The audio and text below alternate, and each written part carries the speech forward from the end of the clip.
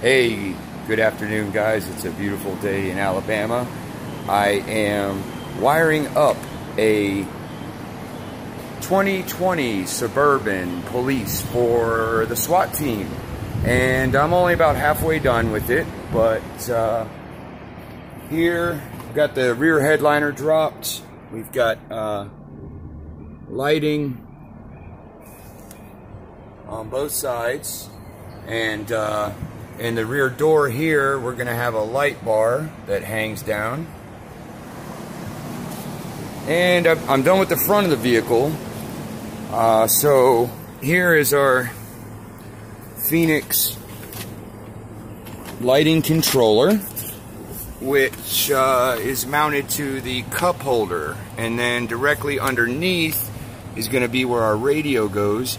I uh, don't have the radio in yet, but I did pull in my antenna and power wire are both right there. So when the radio comes in, I can just hook it up. We have our handheld. Get out of the way.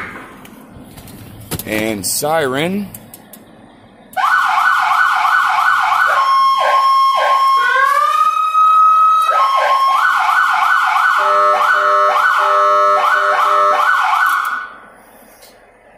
Button one here.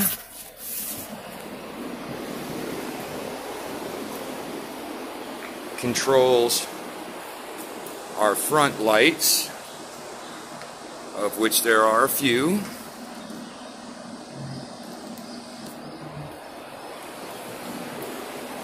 Uh, obviously the back I haven't gotten done yet. We're about halfway through. Um, even with the front lights on, if he were to hit button four there, it's going to take those corner strobe cannons that were blinking just a second ago and turn them into solid white work lights for him. So I'll check in with you more as my, my install is complete here. Now if he turns off button four,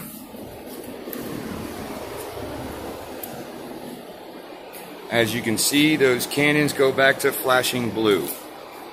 Pretty neat.